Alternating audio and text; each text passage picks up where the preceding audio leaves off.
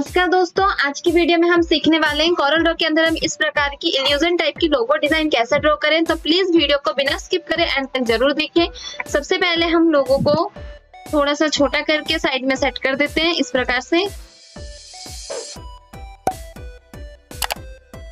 Set करने के बाद यहाँ पे लेंगे एक रेक्टेंगल रेक्टेंगल को हमें इस प्रकार से ड्रॉ कर लेना है। प्रकार से ड्रॉ कर लेंगे और इसको कलर कर देंगे हम ग्रे कलर प्रकार से? आउटलाइन को नो आउटलाइन कर देंगे, ऐसे। अब इसके ऊपर लेंगे हम सर्कल जो कि हमें कंट्रोल के साथ ड्रॉ करना है इस प्रकार से।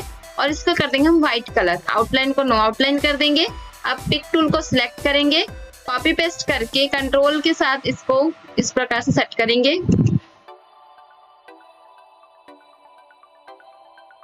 इस प्रकार से सेट करने के बाद पूरे शेप को सिलेक्ट करेंगे।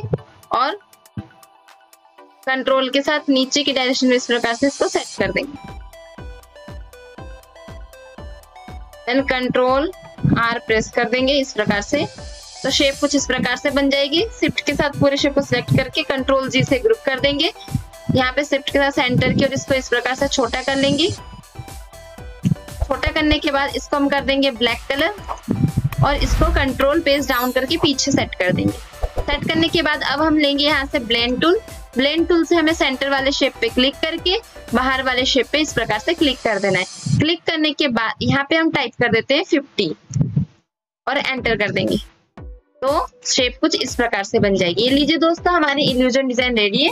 उम्मीद है आप सबको हमारी वीडियो पसंद आई होगी। तो प्लीज़ हमारे चैनल को लाइक शेयर एंड सब्सक्राइब ज़रूर करें।